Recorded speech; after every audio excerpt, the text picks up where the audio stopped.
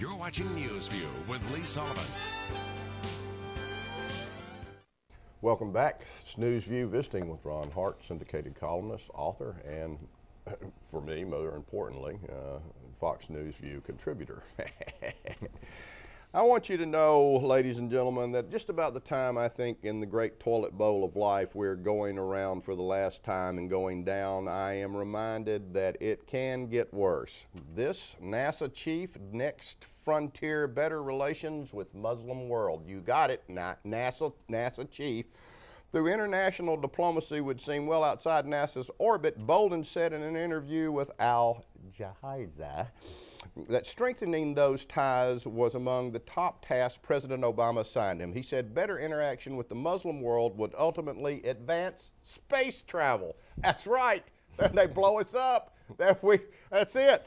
When I became NASA administrator, or before I became NASA administrator, he charged me, that would be Hussein, with three things. One was he wanted me to help re-inspire children to want to get into science and math. He wanted me to expand our international relationship. And third, perhaps foremost, he wanted me to find a way to reach out to the Muslim world and engage much more with dominantly Muslim nations to help them feel good about their historic contribution to science and math and engineering. Puke. Just go to the toilet and throw up. Well, so far so good. The, the Muslims really like us since he's become president. It's really been better. Uh, you know, this guy's uh, Obama. It's fun to compare himself to Can FDR. I know, I know. He's, he's, compa he's comparing himself to FDR, to Abraham Lincoln. But in reality, as I said in the column uh, actually coming out this week, he's really more like Eisenhower. He's escalated wars. he's fired generals that spoke poorly of him, and he plays a lot of golf. I mean, this guy is all over the place in terms of what he wants. But, you know, these agencies have become nothing. They've become ideological uh, mirrors of the Obama administration. They talk a big game. They do nothing in, in reality. The, the, whole situation with the Gulf oil spill shows you truly how inept government is. Who would have thought you'd have a major oil spill in the Gulf and your greatest hope is Kevin Costner? Really? It, it's come to that. I mean, it's, it is, but as, as, I said in the column this week, hopefully it'll make people realize that all these overarching promises and all these grandiose speeches about how government's going to fix everything, hopefully the average person, it will resonate with them that the government really can't do anything. They've proven it over and over and over. The only time government really, or the American people really, respond well is when there's a wolf at the door. Uh, World War II was a major situation. 9-11 was a major situation. What we have now is termites in the basement. Okay. A decaying America who's spending more money than they have, the values are shifting in the wrong direction, and we don't respond well to that, to slow moving situations where ideology is moving to the left. Well, I think there's an awakening. The Tea Parties, I think, are a major, major part of the, the, the realignment of American thinking. And it's not so much around taxes or whatever, it's more about freedoms and, and, and individual rights and, and, and overreaching part of the government. So uh, if there's, and that's the reason the left is so quick to vilify the Tea Parties because they're scared of them. They don't want people to have the right to vote. They want, we have a country right now governed by a 10 to 15 percent ultra liberal part of our country. Uh, Pelosi, Reid, and these people. This is not our country. This is not the demographic of the voting American people. We're not that liberal, but somehow they're in charge, and they got till November to raid the Treasury. It's like looting right. after Katrina. Right now, they're passing all the bills they can, and the consequences be damned. They don't really care because either they really believe this or it helps entrench their power longer. Where is Alec Baldwin uh, with the oil well? Uh, I mean, and Sharon Stone and Britney Spears and and whatever. Where are they? I'm they waiting on Quincy. absent yeah. without leave. Quincy they? Jones should do a do a "We Are the World" type well, of thing. Well, Jeff said they still have the text for uh, uh, relief for Haiti. Yeah, yeah. I don't know. I mean, they're torn on this one because it's an embarrassment to their president. They don't want to highlight any embarrassment to their president. They can't blame Bush. They can't blame the right. They can't blame, you know, they, the environmentalists pushed the drilling offshore. It should be closer to shore. It wouldn't be a problem right now. So it's just like the nuclear reactors that we stopped building in the 70s that we should not have stopped building. Right. The environmentalists are completely wrong. They're emotional. They, they go with their emotion. They got no sense of what really is reality. And the politicians fall in lockstep. They push the drilling offshore 5,000 feet, then another nine or 10,000 feet below shore. They can't fix it. I reminded the movie uh, There Will Be Blood. I don't know if you saw that movie yes, or not. Uh, Daniel Day-Lewis, great movie.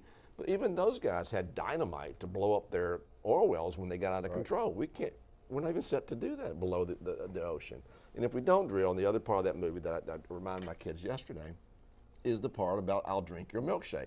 If we don't drill down there, don't you think for one second Cuba, Cuba, Venezuela, and, uh, and Vietnam won't drill down there? Laterally, Thanks to Jimmy Carter, they can drill like 60 miles off our shore. He gave that up in 1977. Thanks, Jimmy Carter, again for another. You know, you had the canal always, and all the other I things he did. I say I always wanted Jimmy Carter to marry Jane Fonda. That'd be perfect. You know, and create a new, like, genetic culture of zero, oh, big zero. Yeah, it's, it's searching pretty for a decimal point. But he, you know, he did the Panama Canal, and he, he- you know, there's two types of people in America: those that know the failed policies of Jimmy Carter, and those who are witnessing them right now. And it's the same type of situation. As, as Mark Twain said one time, you know, history doesn't always repeat itself, but it always rhymes. And this is very similar. Ron Hart, we'll be right back. You're watching Newsview with Lee Sullivan.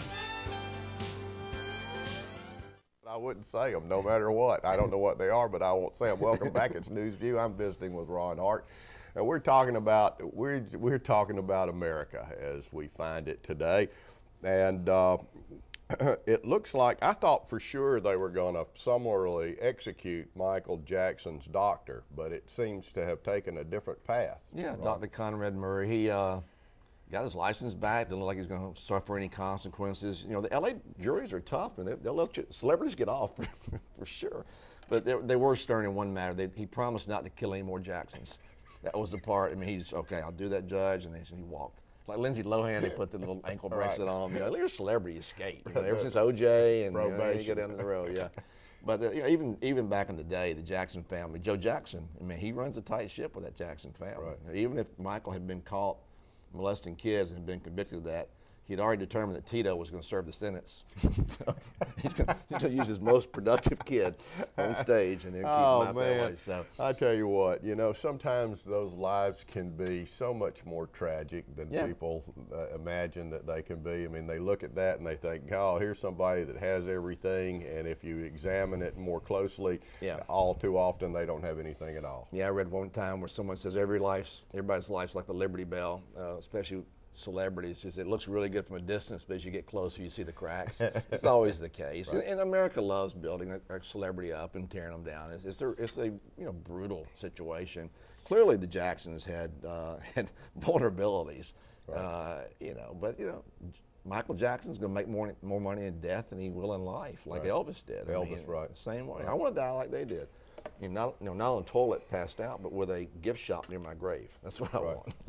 Right. I don't think I'll have to worry about that. that? No, I don't. Nor think- I might get a lot of things. I, I, might, I might serve as a urinal for some people, but I don't think I'll have to worry about the other. Ron Hart, we'll be right back.